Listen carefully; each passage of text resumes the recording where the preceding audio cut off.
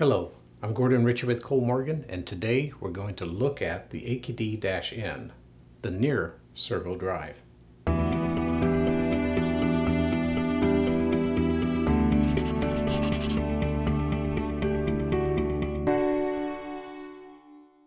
Unlike most servo systems, the near servo drive is made up of a central power supply and several servo drives. The connection between them is through a hybrid cable that carries the power and communications. Depending on their current rating, the central power supply can support up to 16 servo drives.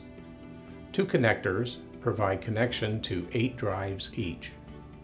Each near servo drive has an input connector and an output connector. At the first drive, the hybrid cable is connected to the input.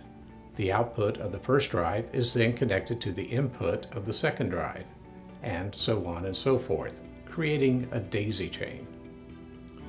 From the drive to the motor will be either a dual set of power and feedback cables or a single power and feedback cable. The big advantage of the near servo drive is the reduction in cables. For a standard 16-axis system, you would need to pack 16 drives in an enclosure and run 32 cables.